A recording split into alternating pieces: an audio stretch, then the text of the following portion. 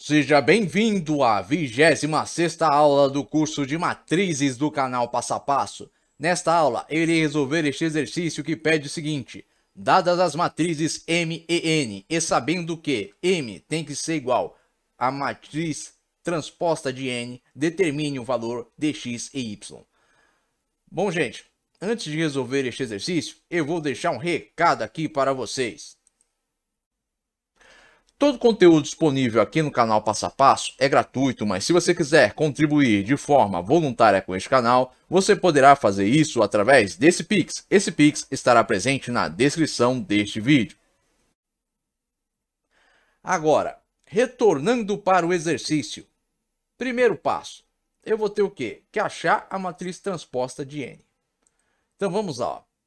Matriz transposta de N vai ser igual ao quê? Vocês devem saber que matriz transposta, o que, que ela é? Ela é uma matriz que, que cuja a linha dela é igual à coluna da matriz que ela é transposta e a coluna dela é igual à linha da matriz que ela é transposta. Ou seja, aqui ó, N, a matriz N possui ó, na primeira linha, primeira coluna x, na primeira linha, segunda coluna x ao quadrado. Essa linha aqui vai virar o quê? Na matriz transporte? Vai virar a primeira coluna. Então, o primeiro elemento da primeira linha vai ser o quê? O primeiro elemento na primeira coluna. E o segundo elemento que está na primeira linha vai virar o quê? O segundo, é, o primeiro elemento da primeira coluna. Então, o que é aqui, ó? Aqui é linha, vai aqui, vai virar coluna. Então, vou ter aqui, ó. Matriz transposta de N. Primeira linha, primeira coluna, X. Primeira linha, segunda coluna, 2Y. Segunda linha, primeira coluna, X ao quadrado. Segunda linha, segunda coluna, Y. Ou seja, aqui é linha, aqui é coluna. Bom, gente, Agora que eu achei a matriz transposta, eu vou o quê? Igualá-las. Então, ó, M é igual à matriz transposta de N. Então, ó, qual é a matriz M? A matriz M era primeira linha, primeira coluna, x ao quadrado. Primeira linha, segunda coluna, y. Segunda linha, primeira coluna, x. E segunda linha, segunda coluna, 2y. Eu vou igualar a matriz transposta de N. Então, ó, sendo m igual a matriz transposta de n, temos o quê? Que x ao quadrado vai ser igual a x. Por quê?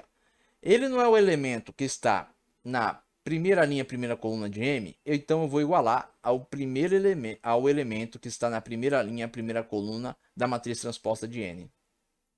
E 2y, o que, que eu vou fazer? Eu vou igualar ao elemento na matriz transposta de n que está na mesma posição.